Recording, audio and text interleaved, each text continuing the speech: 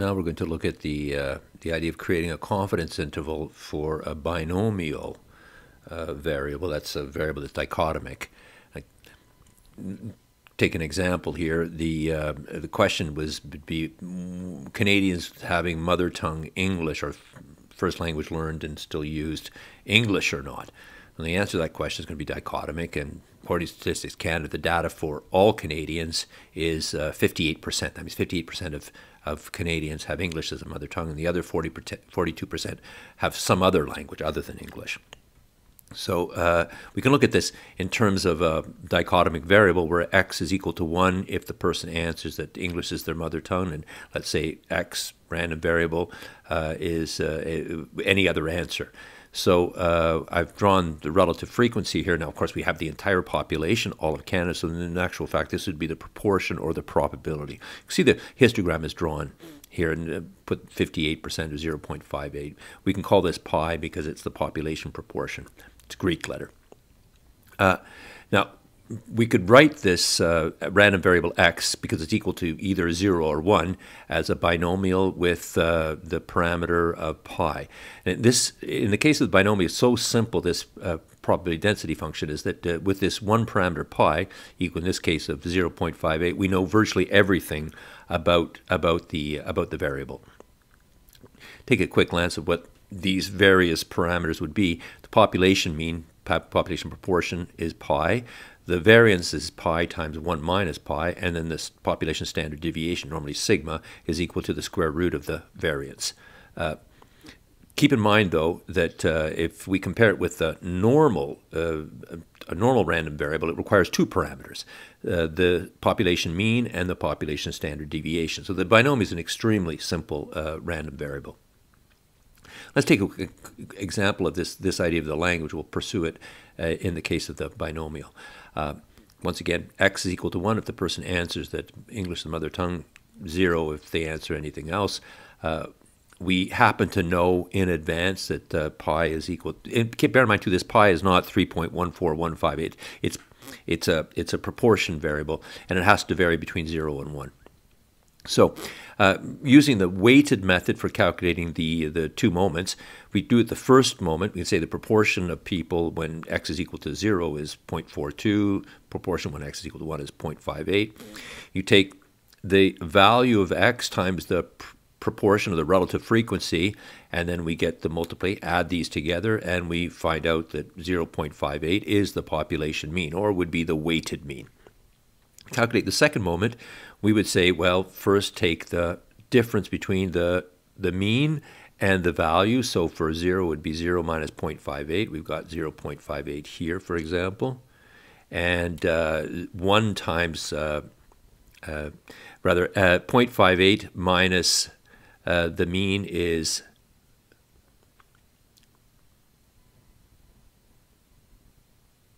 rather 1 minus 0.58 is 0.42, that's correct, when x is equal to 1. Uh, then we'd square the deviation. This is initially the square the deviation, then take the deviation times the weighted amount, and this uh, number at the end, 2.3, is equal to the population variance. And we take the square root of that, and uh, we wind up with the population standard deviation. So in fact, using the weighted method, it's, it's, it's so simple that it, it appears even confusing. Um, we can now use the central limit theorem uh, to estimate, for example, a group of Canadians. So imagine we are outside of Canada, there's 100 Canadians, random sample from all over the country. What percentage of this group will have English as their mother tongue? So now we're in the world of a sample and we're looking at a sample mean. In this case, actually a sample proportion. So uh, we would expect it to be about 58% or around 58 people of the 100, but of course it would not be exactly that. There might be more, there might be less. It's a random sample. Let's call the number of people in this group of 100 a sample proportion or sample mean. According to the central limit, then when n is larger, larger than 50, in fact, we've got 100 people in our sample, we can use the, uh, we, can, we would expect that this sample proportion, notice this carefully, sample proportion p bar, will follow the normal, centered on pi, with a standard error equal to the standard deviation divided by the square root of the sample size. So we've just applied the central limit theorem to the situation of P bar. Now, this is the population mean. We got that from Statistics Canada. This is going to be the population standard deviation, as I just derived a moment ago. Uh, this becomes now our standard error in the case of the binomial or dichotomic variable. So, important point to uh, re reiterate here is that uh, we can rewrite this p bar follows the normal. Keep in mind that x bar, on the other hand, that means to say an individual person will follow the binomial distribution. P bar, of course, is based on a sample of 100 people. So it's a proportion, sample proportion. Okay, now we can create a, a, a confidence interval uh, using the calculations on the previous screen. Uh, confidence interval is the population mean plus or minus uh, the margin of error, where we've got the standard error as shown previously.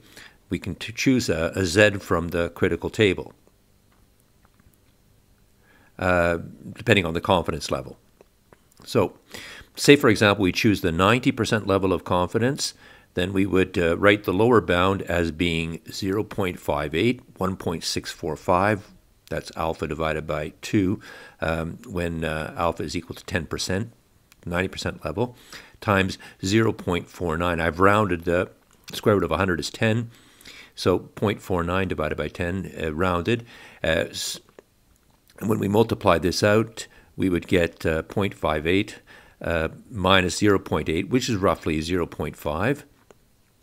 And uh, for the upper bound, we would add the margin of error, which would mean we'd be adding roughly 0.8. So we could put this in as equal to roughly 0.50, and this is going to equal roughly 0.66. So this would mean that uh, we would expect, if we were traveling abroad, a random group of 100 Canadians, you'd expect that roughly 50 of them, nine groups out of 10, uh, 50 of the people would have a English as a mother tongue, and 66 would have, uh, or somewhere between 50 and 66 of the 100 people would have English as a mother tongue. One way to view this as well is to say that if, for example, you're abroad and you meet a gr group of people where uh, there's fewer than 50 or fewer than maybe 45 that speak English as a mother tongue, then you start to think, well, maybe this group of the 100 people on the bus uh, or in this train or whatever uh, uh, are not really a random sample of Canadians from all across the country. Uh, I want to make two points about this. Uh, the first one is that the uh, in the case of the binomial PDF, it happens that the largest population standard deviation is equal to 0.5. I'm going to leave that as a as as a, a bonus quiz if you want to show it or prove it. Um, but this is the case, which means that if we want to make the margin of error as wide as possible, which is a way of making it safe so that we're including every possibility, we can simply state that rather than calculate the population standard deviation, if we don't know it, we can just put in 0.5. Uh, uh, the second thing is frequently don't know the population proportion. In the previous example, we happen to know it because Statistics Canada provides the data. But in many circumstances, we don't know it. In which case, what we will, will do in this case is to, rather than use the unknown population mean or proportion, we'll simply use the known sample mean or proportion. That is available from the sample that we've created. So we can now create a confidence interval not around the unknown population mean, but rather around the known sample mean. So this is the final version of the confidence interval that we would normally use, as illustrated here. Uh, let's take an example from, from newspaper reports of a, a, of a an election, and, I think in uh, uh, the election in 2015. Uh, there was a poll conducted by the Globe and Mail newspaper, but it was conducted by the company Nanos. In their sample size, they had 734. I got this information out of the news report, of which of the 734, 271 chose liberal, and the other people chose something not liberal. So that could include people that were planning to vote for another political party, or simply planning not to vote, or they hadn't decided, and so on and so forth. Uh, so using the example we had a moment ago, this is the confidence interval I'm going to use. Clearly, we don't know what the final proportion is going to be. That would be pi uh, eh, until the election day that night. That's when everybody gets surveyed. Uh, but this is the three days before the election, so all we know is the uh, is the sample proportion. So let's see what we got this. What is the sample proportion in this case?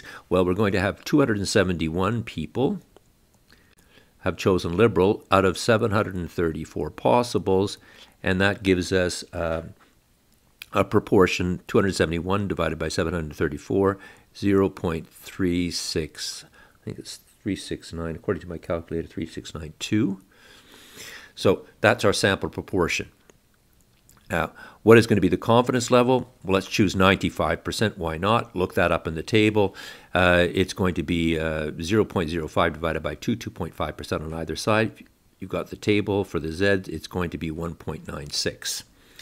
Next.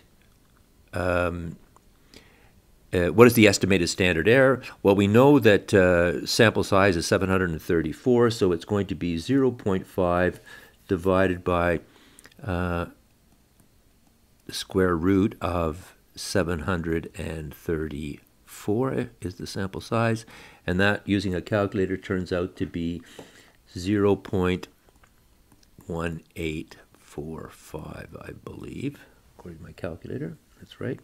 So now we can figure out the margin of error. It's going to be the uh, the standard error uh, multiplied by z. It's going to be these two numbers multiplied together. If I do that, I get 1.96 multiplied by 0.1845. I think I'll round this, and I get um, 0.036, 0.036. So we can now put these together with the sample proportion and create a confidence interval. The lower bound is going to be um, 0.369 minus 0.036 and the upper bound will be 0.369 plus 0.036 so this winds up being according to my calculations here 0.333 or 33.3%. And the upper bound is equal to 0.405 or 40.5%. So what we're saying here is that the, uh, uh, the prediction of the election result for the Liberals should be somewhere between, they've got a 95%, 19 times out of 20.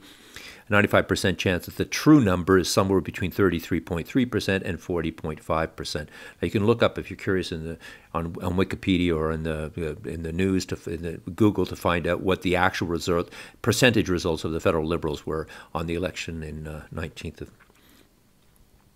I want to make some final points here about uh, about this process we're describing because this is often one use of confidence intervals for uh, making predictions for elections, a referendum, and so on. Is that very important point here is that the size of the original population doesn't change any calculation that I just did. So, in effect, what this means is whether it's a survey in the United States with a population of 350 million or population of Quebec 7 million, 8 million, uh, the sample size doesn't change. And it doesn't change the confidence interval. And at first glance, this is, this is um, not intuitive. You might say, well, surely the sample size should depend on the population, and it's not the case. And, and a good way to think about this a little bit is imagine you're making a large pot of soup or chili, and you want to test it before uh, you finish putting spices in so that you, you like the taste. And whether it's a large pot of chili or a small pot of chili, the sample you take, a small spoon, it, it, it doesn't doesn't change anything. Uh, what's what's more important, if you think about it, is that you stir the pot before you take your sample. So you want a truly independent or random sample of the pot, but the the sampling spoon doesn't have to be larger because you have a larger pot. And it's the same logic here in the case of uh, uh, the sample size for a, a, a media pool. Uh, another point too is we can now very simply at the 95% level, 19 times out of 20 is frequently used, the margin of error is going to simply equal 1 plus or minus 1.96 times uh, 0.5, the largest standard error or the largest uh, population standard deviation um, possible divided by the square root of the, the sample size. So I just, sake of argument, I just tried different sample sizes to find out what the margin of error would be. And what you discover is that when the sample size, and again, bear in mind that this is going to be true whether it's the entire world, the United States, or the city of Montreal. It doesn't matter about the population size. If the sample size is, say, 300 or so, the margin of error is just too wide. It doesn't provide enough information uh, uh, about the accuracy. It's a bit like making the horseshoe just too big, so you're going to always hit the target. And, and, and so as a result, you don't know really where the true target is, the true pi, the true population proportion. On the other hand, you can go to a large sample of 2,000, but then it becomes very expensive to conduct the poll and ensure that it's truly a random sample. So most polls typically are around 1,000 or so. The one we just looked at is about 730. Uh, I often think that if it's below five, it's just simply too small. Um, a thousand is a fairly good size. Two thousand is good. It's more precise, but it's also very expensive. So maybe the polling organization has a lot of money to to spend.